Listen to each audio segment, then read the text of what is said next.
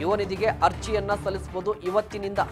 ಯಾರೆಲ್ಲ ಅರ್ಹ ಫಲಾನುಭವಿಗಳಿರ್ತಾರೆ, ಯಾರೆಲ್ಲ ಈ ಯುವ ನಿಧಿ ಯೋಜನೆಗೆ ಅರ್ಹರಾಗಿರ್ತಾರೆ, ಯುವಕ, ಯುವತಿಯರು ಇವತ್ತಿನಿಂದ ಅರ್ಜಿಯನ್ನ ಸಲ್ಲಿಸಬಹುದು. ಸೇವಾ ಸಿಂಧು ಪೋರ್ಟಲ್ ಮೂಲಕ. ರಾಜ್ಯ ಸರ್ಕಾರದ ಐದು ಗ್ಯಾರಂಟಿಗಳಲ್ಲಿ ಒಂದಾದಂಥ ಯುವ ನಿಧಿ ಯೋಜನೆ. ಪದವೀಧರರಿಗೆ ಪ್ರತಿ ತಿಂಗಳು ಮೂರು ಸಾವಿರ ಡಿಪ್ಲೊಮೊ ಹೋಲ್ಡರ್ಸ್ಗೆ ಒಂದೂವರೆ ಸಾವಿರ ಕೊಡುವಂತಹ ಯೋಜನೆ ಇದು.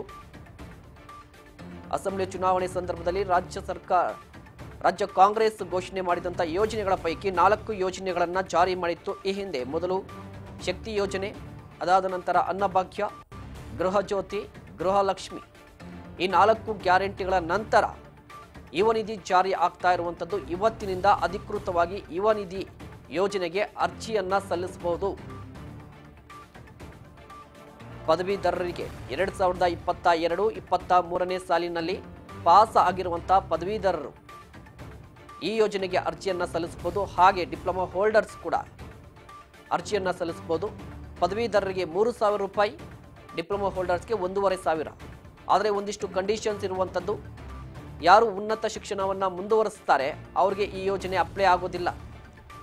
ಅಥವಾ ರಾಜ್ಯ ಸರ್ಕಾರ ಆಗಿರಲಿ, ಕೇಂದ್ರ ಸರ್ಕಾರ ಆಗಿರಲಿ ರಾಜ್ಯ ಸರ್ಕಾರ ಆಗಿರಲಿ, ಕೇಂದ್ರ ಸರ್ಕಾರದ ಯೋಜನೆಗಳಲ್ಲಿ ಯಾರು ಸಾಲವನ್ನು ಪಡೆದು ಸ್ವಯಂ ಉದ್ಯೋಗವನ್ನು ನಡೆಸ್ತಾ ಇರ್ತಾರೆ, ಅವ್ರಿಗೂ ಕೂಡ ಈ ಯೋಜನೆ ಅಪ್ಲೈ ಆಗೋದಿಲ್ಲ. ಜೊತೆಗೆ ಅವರು ಕರ್ನಾಟಕದವರೇ ಆಗಿರಬೇಕು. ಸ್ವಯಂ ಘೋಷಣಾ ಪತ್ರಿಯನ್ನು ಅಂದರೆ ನನಗೆ ಉದ್ಯೋಗ ಬರಲಿಕ್ಕೆ ನನಗೆ ಉದ್ಯೋಗ ಸಿಕ್ಕಿಲ್ಲ, ಆರು ತಿಂಗಳಿಂದ ನಾನು ನಿರುದ್ಯೋಗಿ ಆಗಿದ್ದೇನೆ ಅಂತ ಸ್ವಯಂ ಘೋಷಣೆಯನ್ನು ಮಾಡ್ಕೋಬೇಕು. ಅದಾದ ನಂತರ ಒಂದಿಷ್ಟು ಡಾಕ್ಯುಮೆಂಟ್ಸ್ ಮೂಲಕ ಸೇವಾ ಸಿಂಧು ಪೋರ್ಟಲ್ ಮೂಲಕ ಅರ್ಜಿಯನ್ನು ಸಲ್ಲಿಸಬಹುದು.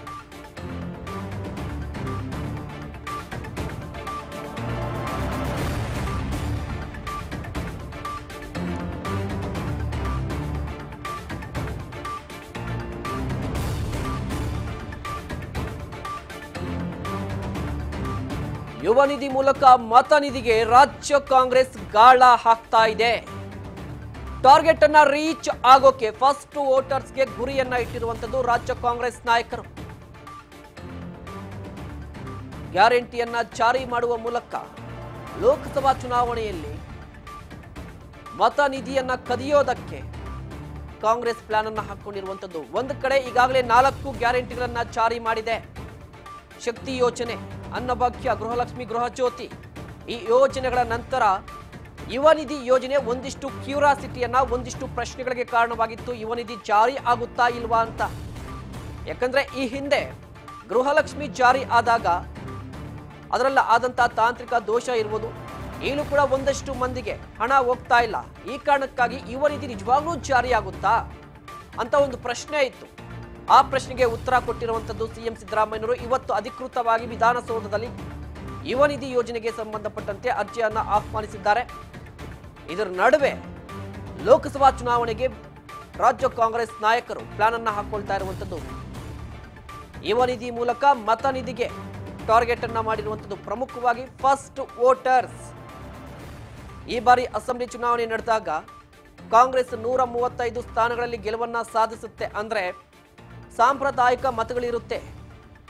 ಹಾಗೆ ಒಂದಿಷ್ಟು ಜಾತಿ ಲೆಕ್ಕಾಚಾರ ಇರ್ಬೋದು. ಆದರೆ ಈ ಬಾರಿ ಅತ್ಯಂತ ಗಮನಾರ್ಹವಾಗಿ ಫಸ್ಟ್ ವೋಟರ್ಸ್ ಯುವಕರು ಕಾಂಗ್ರೆಸ್ ಪರ ವಾಲಿದ್ದು. ಯಾರು ಕೂಡ ನಿರೀಕ್ಷೆ ಮಾಡಿರಲಿಲ್ಲ. ಯಾಕಂದ್ರೆ ಸಾಮಾನ್ಯವಾಗಿ ಫಸ್ಟ್ ವೋಟರ್ಸ್ನ ಆಯ್ಕೆ ಏನಿರಾಗಿರುತ್ತಂದ್ರೆ ಸಾಮಾನ್ಯವಾಗಿ ಟ್ರೆಂಡ್ ಅನ್ನ ನೋಡ್ಕೊಂಡ್ ಬರ್ತಾ ಇದ್ರೆ ಫಸ್ಟ್ ವೋಟರ್ಸ್ ಯಾವತ್ತೂ ಕೂಡ ಕಾಂಗ್ರೆಸ್ನ ವಿರೋಧಿಗಳು ಅಂತಲೇ ಹೇಳ್ತಾ ಇದ್ರು. ಆದ್ರೆ ಈ ಬಾರಿ ಏನಾಯ್ತು? ಎರಡ್ ಸಾವಿರದ ಅಸೆಂಬ್ಲಿ ಚುನಾವಣೆಯಲ್ಲಿ ಕಾಂಗ್ರೆಸ್ ಪರವಾಗಿ ಫಸ್ಟ್ ವೋಟರ್ಸ್ ಅನ್ನ ಫಸ್ಟ್ ವೋಟರ್ಸ್ ಪ್ರಮುಖವಾಗಿ ಯುವಕರು ಮತವನ್ನ ಚಲಾಯಿಸಿದ್ದು. ಇದೇ ಕಾರಣಕ್ಕಾಗಿ ನೂರ ಮೂವತ್ತ ಐದು ದಿಗ್ವಿಜಯವನ್ನ ಸಾಧಿಸಿದ್ದು ಕಾಂಗ್ರೆಸ್. ಇದೇ ಜೋಶ್ನಲ್ಲಿ ಈಗ ಲೋಕಸಭಾ ಚುನಾವಣೆ ಹತ್ರ ಬರ್ತಾ ಇದೆ. ಯುವಕರನ್ನ ಸೆಳೀಬೇಕು. ಯುವಕರ ಮತಗಳು ನಿರ್ಣಾಯಕ ಪಾತ್ರವನ್ನ ವಹಿಸುತ್ತೆ. ಯುವಕರ ಮತಗಳಂದ್ರೆ ನಿಮಗೆ ಜಾತಿವಾರು ಲೆಕ್ಕಾಚಾರದ ಮೇಲೆ ಆ ಮತಗಳನ್ನ ನೀವು ಅಂದಾಜು ಮಾಡ್ಲಿಕ್ಕಾಗಲ್ಲ, ಕ್ಷೇತ್ರವಾರು ಅಂದಾಜು ಮಾಡ್ಲಿಕ್ಕಾಗಲ್ಲ, ಸಿದ್ಧಾಂತದ ಮೂಲಕ ಅಂದಾಜು ಮಾಡ್ಲಿಕ್ಕಾಗಲ್ಲ. ಯುವಕರ ಮತದಾನವನ್ನ ಮತಗಳನ್ನ ಯಾವುದೇ ರೀತಿಯ ಲೆಕ್ಕಾಚಾರದಲ್ಲಿ ಇಟ್ಕೊಂಡು ಅವರು ಇದಕ್ಕೆ ಹೋಟ್ ಹಾಕ್ತಾರೆ ಈ ವಿಚಾರಕ್ಕೆ ಹೋಟ್ ಹಾಕ್ತಾರೆ ಇವರು ಜಾತಿ ಲೆಕ್ಕಾಚಾರದಲ್ಲಿ ಹೋಟ್ ಹಾಕ್ತಾರೆ ಅಂತ ಅಂದಾಜು ಮಾಡ್ಲಿಕ್ಕಾಗಲ್ಲ. ಒಂದಿಷ್ಟು ಅಂದಾಜಾದ್ರೂ ಕೂಡ ಅದು ಸೆವೆಂಟಿ ತರ್ಟಿ ಆಗುತ್ತೆ. ಆದರೆ ಈ ಕಾರಣಕ್ಕಾಗಿ ಕಾಂಗ್ರೆಸ್ ಈಗ ಯುವ ನಿಧಿಯನ್ನು ಜಾರಿಗೆ ಮಾಡ್ತಾ ಇರುವಂತದ್ದು. ಈಗ ಯುವ ನಿಧಿಗೆ ಅಧಿಕೃತವಾಗಿ ಚಾಲನೆ ಸಿಕ್ಕಿದೆ. ಆದರೆ, ಜನವರಿ ಹನ್ನೆರಡನೇ ತಾರೀಕು ಈ ಯೋಜನೆಗೆ ಸಂಬಂಧಪಟ್ಟಂತೆ ಹಣ ಫಲಾನುಭವಿಗಳ ಅಕೌಂಟ್ಗೆ ಹೋಗುತ್ತೆ. ವಿವೇಕಾನಂದ ಜಯಂತಿ ಎಂದು ಜನವರಿ ಹನ್ನೆರಡನೇ ತಾರೀಕು ಫಲಾನುಭವಿಗಳಿಗೆ ಹಣ ಜಮಾವಣೆ ಆಗುವುದು ಇವತ್ತು ಅರ್ಜಿಯನ್ನ ಸಲ್ಲಿಸಿದ್ರೆ ಇವತ್ತಿನಿಂದ ಜನವರಿ ಹನ್ನೆರಡನೇ ತಾರೀಕು ಅಧಿಕೃತವಾಗಿ ಹಣ ಹೋಗುತ್ತೆ. ಇದರ ನಡುವೆ ಇದಕ್ಕೆ ಚಾಲನೆಯನ್ನ ಕೊಡ್ತಾ ಇರುವಂತದ್ದು ಶಿವಮೊಗ್ಗ. ಶಿವಮೊಗ್ಗದಲ್ಲಿ ಕಾಂಗ್ರೆಸ್ ಸರ್ಕಾರ ಬೃಹತ್ ಸಮಾವೇಶವನ್ನ ನಡೆಸಿ ಯುವ ನಿಧಿಗೆ ಚಾಲನೆಯನ್ನ ಕೊಡುತ್ತೆ. ಇದರ ಹಿಂದೆ ಇರುವ ಲೆಕ್ಕಾಚಾರಗಳನ್ನು ನೋಡ್ತಾ ಹೋದರೆ ಪ್ರಮುಖವಾಗಿ ಶಿವಮೊಗ್ಗದಿಂದಲೇ ಕಾಂಗ್ರೆಸ್ ಲೋಕಸಭಾ ಚುನಾವಣೆಗೆ ರಣಕಹಳೆಯನ್ನ ಮೊಳಗಿಸುತ್ತೆ.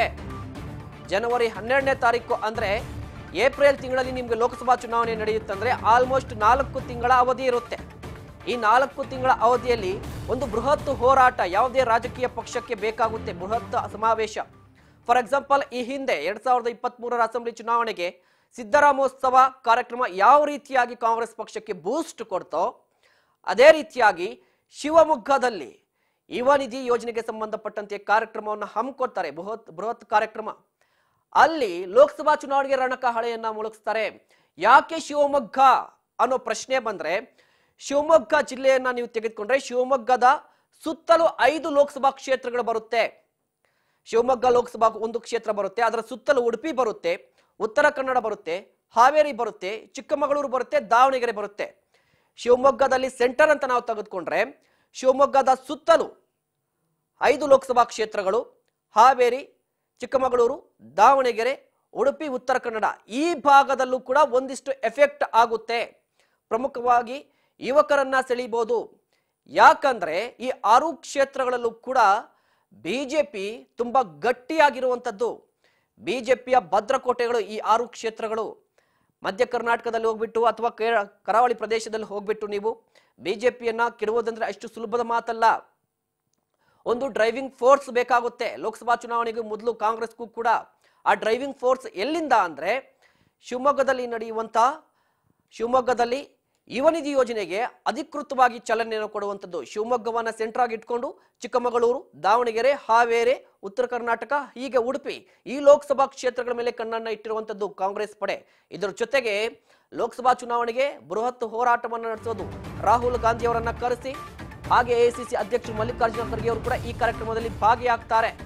ಪ್ರಮುಖವಾಗಿ ಬಿಜೆಪಿಯ ಭದ್ರಕೋಟೆಯನ್ನ ಛೇದಿಸೋದಕ್ಕೆ.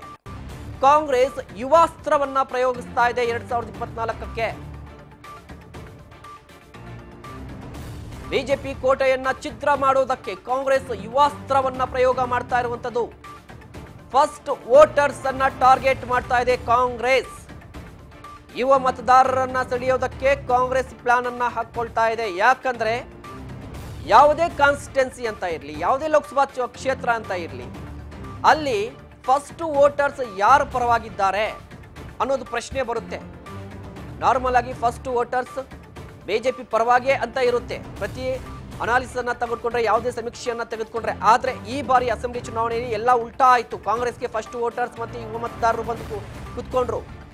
ಆ ಯುವ ಮತದಾರರನ್ನ ಮತ್ತಷ್ಟು ಗಟ್ಟಿ ಮಾಡ್ಕೋಬೇಕು. ಆ ಯುವ ಮತಗಳನ್ನ ಕಾಂಗ್ರೆಸ್ಗೆ ವಾಲ್ಸ್ಬೇಕು.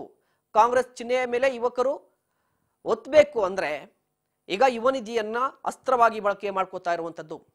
ಇದೇ ಕಾರಣಕ್ಕಾಗಿ ಶಿವಮೊಗ್ಗದಲ್ಲಿ ಬೃಹತ್ ಕಾರ್ಯಕ್ರಮವನ್ನ ಮಾಡೋದು.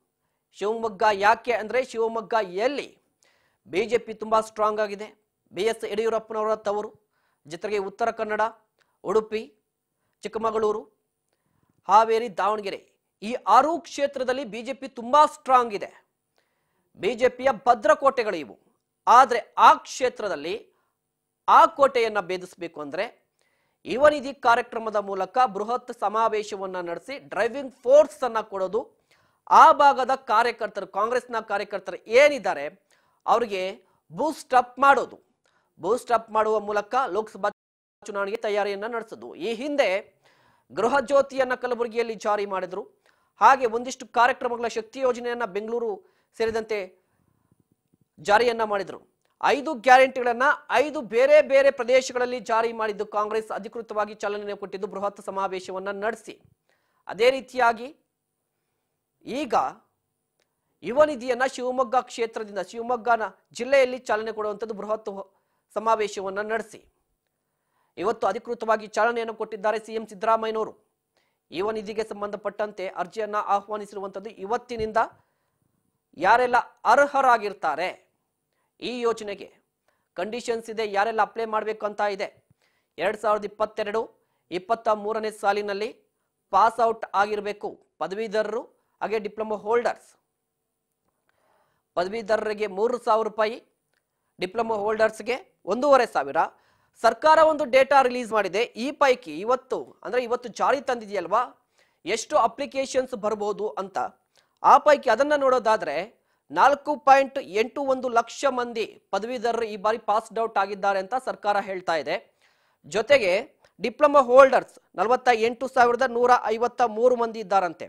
ಒಟ್ಟಾರೆಯಾಗಿ ಐದು ಲಕ್ಷ ಇಪ್ಪತ್ತ ಒಂಬತ್ತು ಲಕ್ಷ ಮಂದಿಗೆ ಈ ಬಾರಿ ಅರ್ಹರಾಗಿರ್ತಾರೆ ಅಂತ ಸರ್ಕಾರ ಕೂಡ ನಿರ್ಧಾರ ಮಾಡಿದೆ.